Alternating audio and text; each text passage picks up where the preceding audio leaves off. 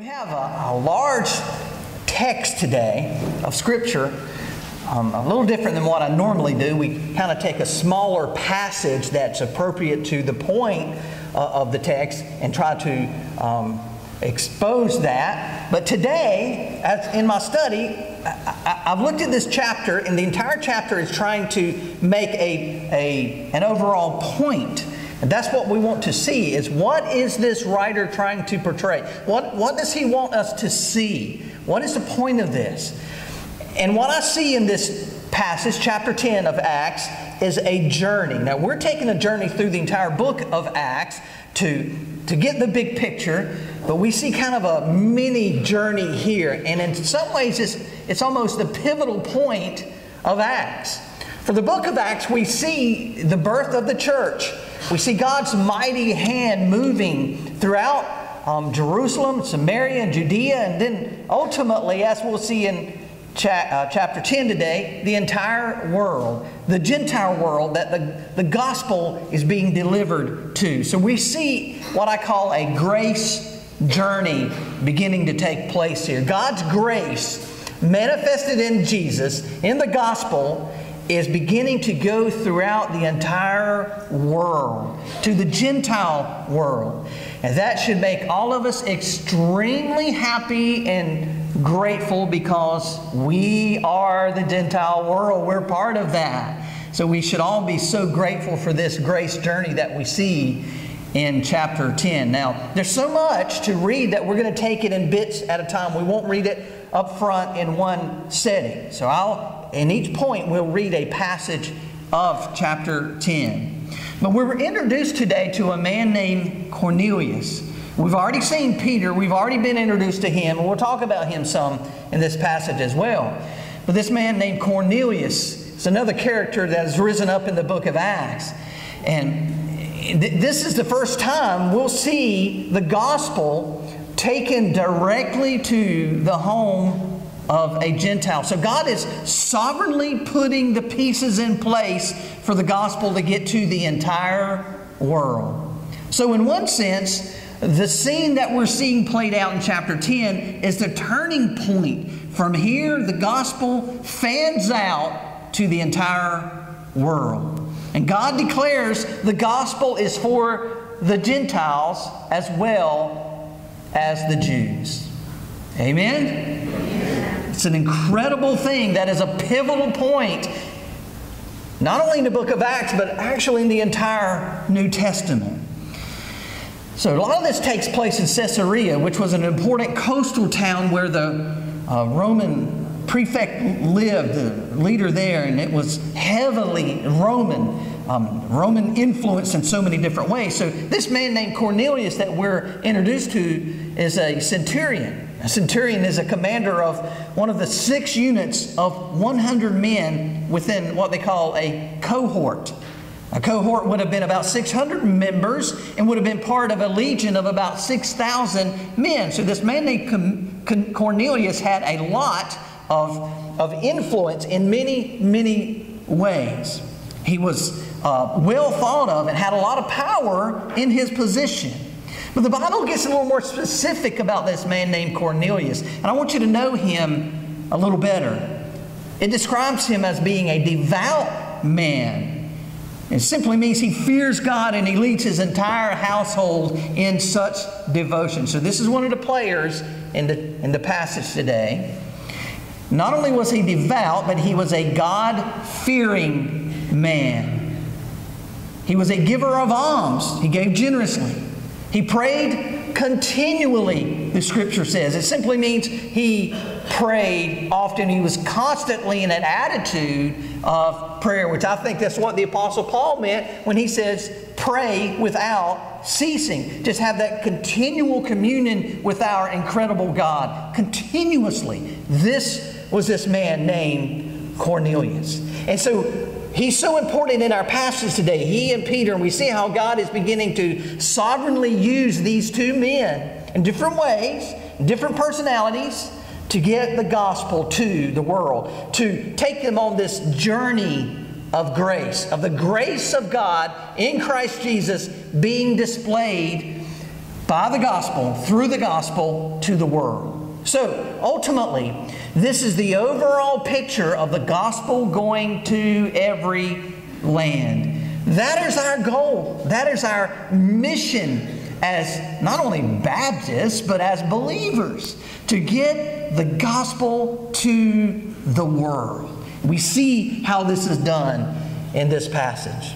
So, we're going to look at several things about Cornelius and Peter on their grace journey.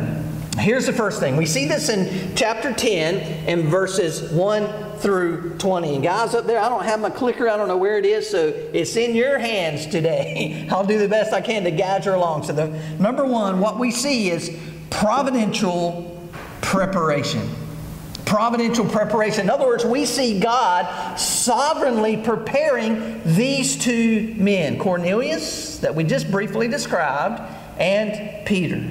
Verses 1 through 8, he talks about Peter uh, or Cornelius again. He says, At Caesarea there was a man named Cornelius, a centurion of what was known as the Italian cohort, a devout man who feared God with all his household, gave alms generously to the people, and prayed continually to God. About the ninth hour of the day, he saw clearly a vision of an angel of God come in and say to him, Cornelius. And he responded like so many others in Scripture where an angel approached and he stared at him in terror. And don't look spiritual, you'd do the same thing, I'm sure. And said, What is it, Lord? And he said to him, Your prayers and your alms have ascended as a memorial before God. And now send men to Joppa and bring one Simon who was called Peter.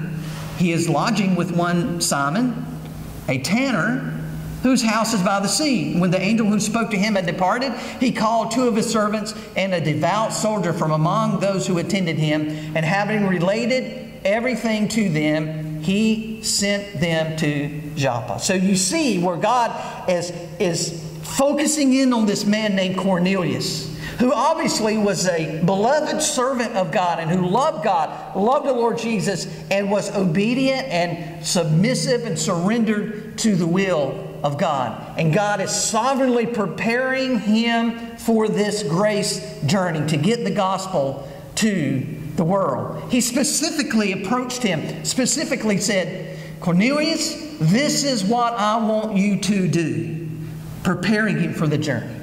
We see this in Peter as well. He prepared Cornelius, and now he prepares Peter. Verse 9. The next day, as they were on their journey and approaching the city, Peter went up on the housetop about the sixth hour to pray. And he became hungry and wanted something to eat. But while they were preparing, he fell into a trance. And listen to these words. And he saw the heavens open, and something like a great sheet descending, being let down by its four corners upon the earth. In it were all kinds of animals and reptiles and birds of the air. And there came a voice to him, Rise, Peter, kill and eat.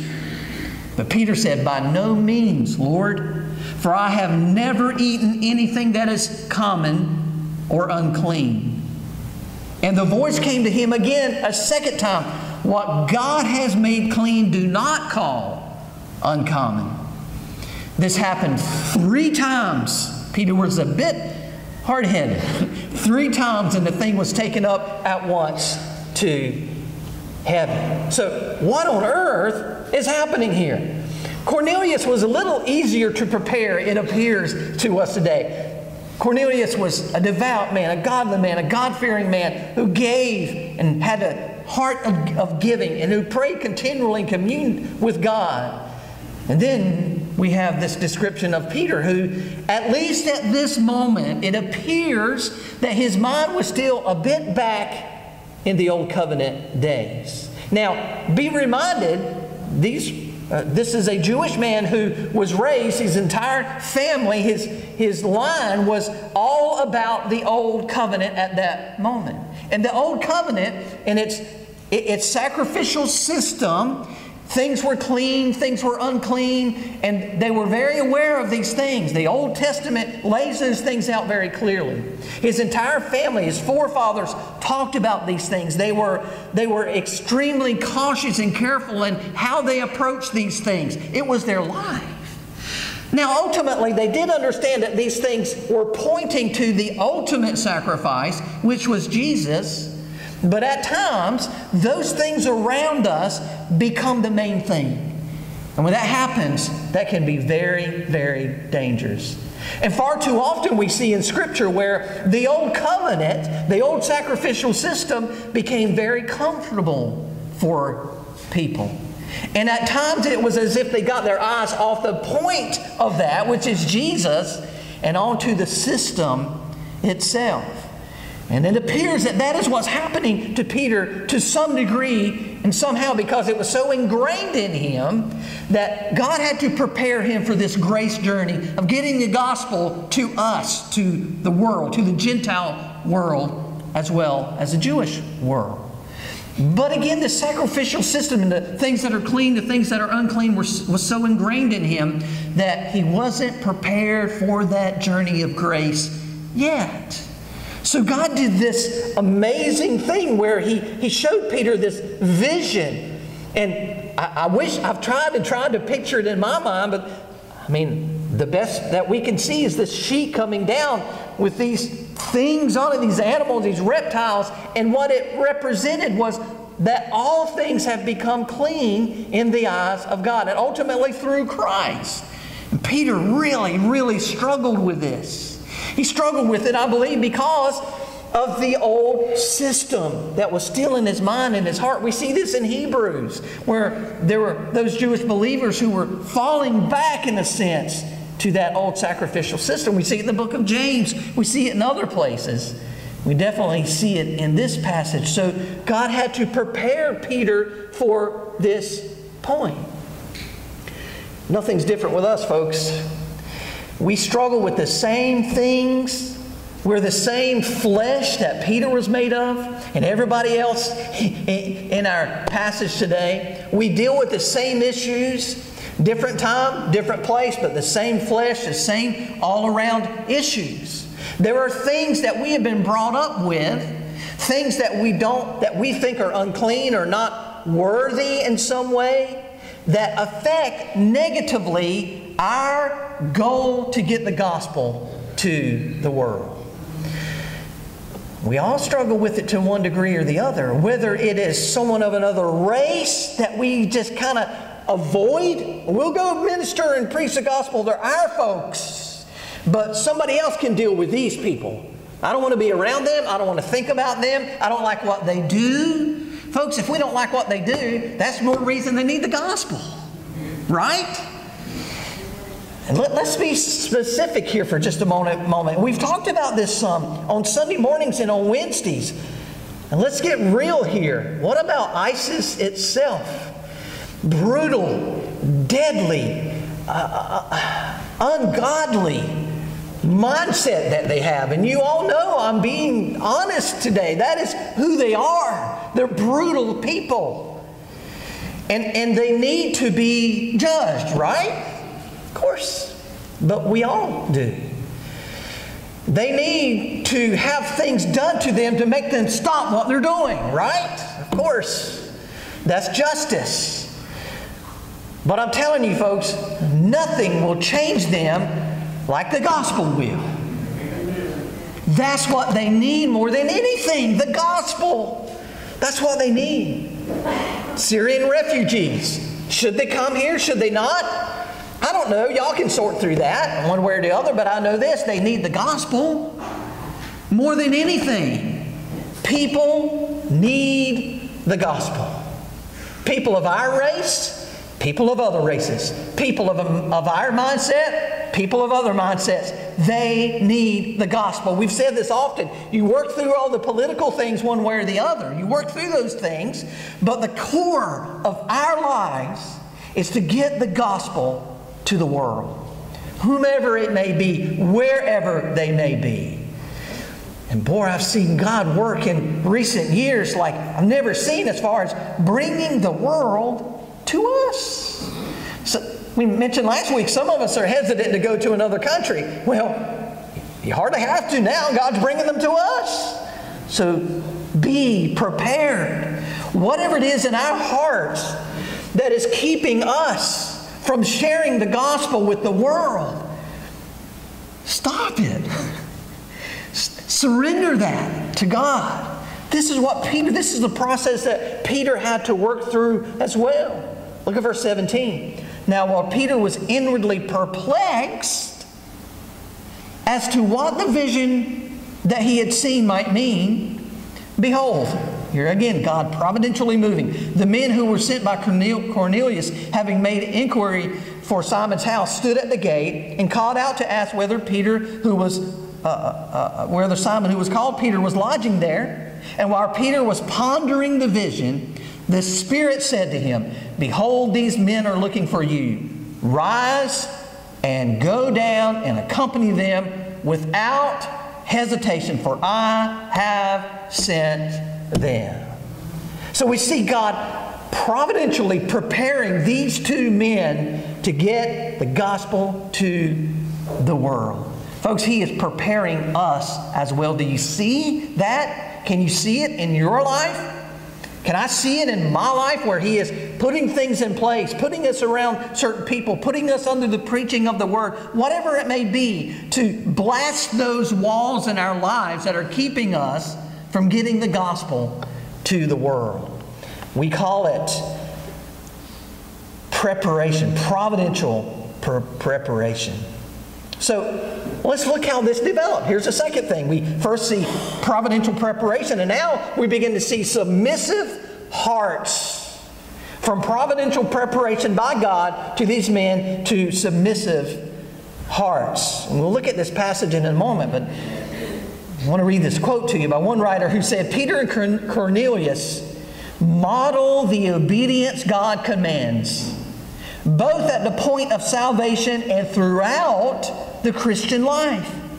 The Bible repeatedly teaches that obedience company, accompanies true faith. And we see that, don't we? If you've truly trusted in Christ, there will be obedience. To different degrees at different times for different people. It all looks different. All of us look have our obedience uh, uh, builds at different times and in different ways, but ultimately there will be obedience. We see that happening in the passage in, in verses 11 through 33. We'll just kind of, you can read that on your own there. But ultimately, we begin to see Cornelius and especially Peter submit and have submissive hearts to this grace journey. Then the third thing we see out of providential proclamation and out of submissive hearts is the gospel proclaimed. This is what we want to see. This is, this is our mission. This is what, what we're after here the gospel proclaimed. So, look at verse 34. So Peter opened his mouth and said, Truly I understand that God shows no partiality but in every nation, anyone who fears him, anyone who fears him and does what is right is acceptable to him. As for the word that he sent to Israel, preaching good news of peace through Jesus Christ, he's Lord of all. You yourselves know what happened throughout all Judea, beginning from Galilee after the baptism that John proclaimed, how God anointed Jesus of Nazareth with the Holy Spirit and with power he went about doing good and healing and all who were oppressed by the devil, for God was with him. And we are witnesses of all that he did, both in the country of the Jews and in Jerusalem. They put him to death by hanging him on a tree. But God raised him on the third day and made him to appear, not to all the people, but to us who had been chosen by God as witnesses who ate and drank with him after he rose from the dead. And he commanded us to preach to the people and to testify that he is the one appointed by God to be judge of the living and the dead. And then verse 43 To him All the prophets bear witness that everyone who believes in him receives forgiveness of sins through his name. Well, look what God is doing here. He has providentially prepared Cornelius and Peter. And then they have submissive hearts. And then here we clearly see the gospel is proclaimed. What we see in this passage, verses 34 through 43, is a Christ centered, gospel centered sermon. We see Peter do this often with his submissive heart. That is what we are to be about. We are to be prepared. We are to have submissive hearts. And then we are to proclaim the gospel of Jesus Christ. Folks, there's a lot of things to proclaim in our day, a lot of things that we can be about, a lot of things that we can be doing, and we should be about those things. But the main thing is the gospel of Jesus Christ. Nothing trumps that, and we should let nothing trump that. When we are prepared and we, we have submissive hearts, that is when we take the gospel to the world. This is what we see happening. Peter, this man who had become somewhat hardened, apparently, now has a submissive heart, and his main thing is to keep the main thing the main thing. And that is the gospel. So he proclaims boldly the death, burial, and resurrection of the gospel, and anyone who trusts in him, anyone of any nation, has eternal life. The gospel proclaimed. And on top of that, it continues to build. Here's the fourth thing. Not only do we see gospel proclaimed, but we see power displayed. Verse 44. While Peter was still saying these things, the Holy Spirit fell on all who heard the word. And the believers from among the circumcised who had come with Peter were amazed because the gift of the Holy Spirit was poured out on even the Gentiles. Let's pause there a moment. So, here, not only was Peter amazed in this vision that he had seen, he was perplexed about it, finally understood what, what he was seeing and what it was all about. He preached the gospel, and those from other nations, Gentiles, not Jewish people, but Gentiles, began to believe on Christ, trust Christ, and the power of the Holy Spirit fell upon them. And the Jewish people were perplexed. They were amazed. Like, what? Wait a minute. We're the Jews. We're the Jewish people. You Gentiles aren't supposed to have this. You are not part of this. But clearly, they were. Clearly, this vision that Peter had seen was being made manifest now. And those Gentiles were trusting in Christ and receiving the Holy Spirit. It's an incredible thing. Verse 46 Now look how this power was displayed in them, for they were hearing them speaking in tongues and extolling God. Then Peter declared, Can anyone withhold water for baptizing these people who have received the Holy Spirit just as we have? What a great question that Peter had. He, he read the minds of his fellow Jewish brethren. And no doubt, somehow they were thinking, well, Maybe we just won't give them water and they can't be baptized. But Peter said, Can anyone withhold this act of identifying themselves with Christ? Baptism. No one can, for they are believers just as we are. 48, and he commanded them to be baptized in the name of Jesus Christ. Then they asked him to remain for some days. Guys and gals, isn't this what we long to see? Isn't this it, really? Don't we want to see the world come to know Christ? Don't we want to see not only our little group, don't we want to see Hampstead have this power? Don't we want to see them acknowledge their sin and trust in the sinless Christ? Don't we want to see them identify themselves with Christ, with the church through baptism? Don't we want to see the world have this power that we have, the Holy Spirit Himself? This is what we wanted. This is what Peter saw after he submitted, after God providentially prepared him, after he had a submissive heart. Then he preached the gospel and saw this power displayed. And then, not only this power being displayed in all these different, all these Gentiles, but believers identified. That's the fifth thing we see. Look at verse 46. For they were hearing them speaking in tongues and extolling God. And Peter declared again, Can anyone withhold water for baptizing these people who have received the Holy Spirit just as we? So he commanded them, and they were baptized. Now, get the, get the power in this. These are Gentiles who, at one time, none of the Jews thought that they would ever have any part of their God, uh, of this sovereign God. That it was for the Jewish people, they were the chosen ones, and not the Gentile people. But all of a sudden, many come, came to know him. Many Gentiles were believing on Christ and identifying themselves with Jesus, with the Messiah. Believers identified. Again, that should be our heart. That should be our goal. That should be our mission as believers. Believers in Christ. Here's the sixth thing, the final thing. This is so sweet. This comes from, from all the things we've heard on this grace journey. The gospel fellowship. Look at the very last part of verse 48. Then they asked him to remain for some days.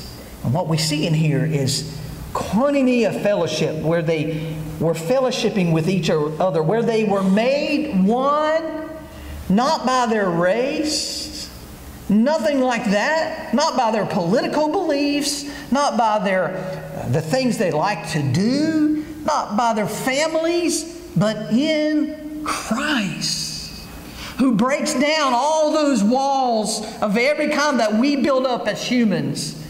And in Christ, they had fellowship. That's how some of you come together, because there are some of you who are completely different from others. Completely. That's the beauty of the gospel, isn't it? that he brings, he breaks out all those walls, that mystery that Paul speaks of in Ephesians, how he broke down the wall between the Jews and the Gentiles that no one else could. No one else could even fathom that. That's the power of the gospel. That's what it does. And it creates this sweet fellowship that cannot be explained any other way but through Christ. This is this grace journey that Cornelius and Peter traveled in Acts chapter 10. And this is this grace journey that Hampstead Baptist Church needs to be about. We need to be on this road as well, this grace journey. Understanding it's by the grace of God, in Christ alone, for His glory alone, that we take the gospel to everybody, everyone. And when we do this, there are some things that will happen and some things we need to look at. Here's the first one. you'll just have to listen to these. I don't have it on the, the screen. When we do this, there will be a high view of our great God. A high view of our great God. We will begin to see God as a God of grace. When we didn't deserve anything good, he gave it to us. When the last thing we deserved was Christ, was Jesus dying on the cross in our place. We didn't deserve that, yet He gave it to us. We'll see God as that. We'll see God as a God of mercy. When we deserved eternal punishment, He was merciful to us in Christ. When we didn't deserve any kind of love, the God who is love loved us. When we didn't deserve salvation, He gave us salvation. That is our great God. And when we go on this grace journey, when He prepares our hearts, when we have submissive hearts, and we go on that grace journey, when the gospel is proclaimed to the nations, we will have indeed a high view of our sovereign and great God. The second thing is in the form of a question, and I ask it to all of us. Will we be willing to go? Will we have submissive hearts like Cornelius, like Peter? Will we be willing to be used by God? Will we enjoy this grace journey or will we put our hands and feet on, on the door and refuse to let God use us? We all have to ask ourselves that question. Will we be willing to take the gospel to the entire world? Or will we be like Jonah, who the last thing he wanted to do is take the gospel to those Ninevites, those mean, brutal, hateful Ninevites? Will we be submissive to the gospel? And it all comes down to this question Will we trust him? As believers, will we trust that God knows what he's doing? Will we trust him to, to equip us and to prepare us? Will we trust him for the ability to have submissive hearts? Will we trust our mighty God to be with us as we take the gospel to the world, whether that's your Muslim neighbor or if that's literally getting on a plane and going to another nation somewhere? Whether that's your hard hearted coworker that you despise, or whomever it may be, will we trust God enough to do the work in us and others to go on this grace journey like Cornelius and Peter did?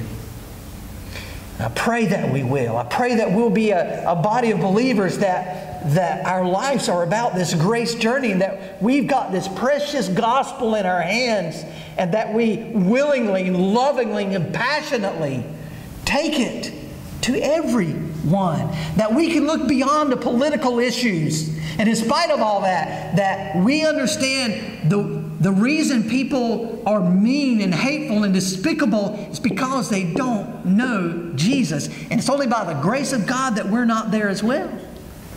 Amen?